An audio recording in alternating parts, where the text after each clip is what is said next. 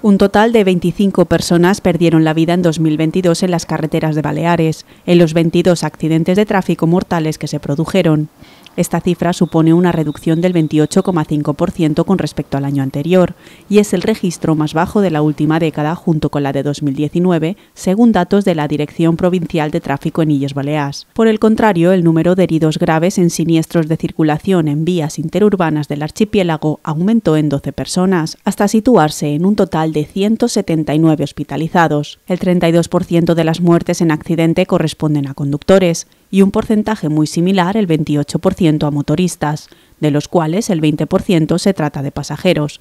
El perfil predominante entre las víctimas fue el de un varón menor de 24 años y 7 de cada 10 accidentes tuvieron lugar durante el fin de semana. A pesar de que la reducción de víctimas mortales en accidentes de tráfico es una buena noticia, no olvidemos que al volante toda precaución es poca, ya que en caso de accidente grave, el impacto emocional y el daño para las familias es irreparable.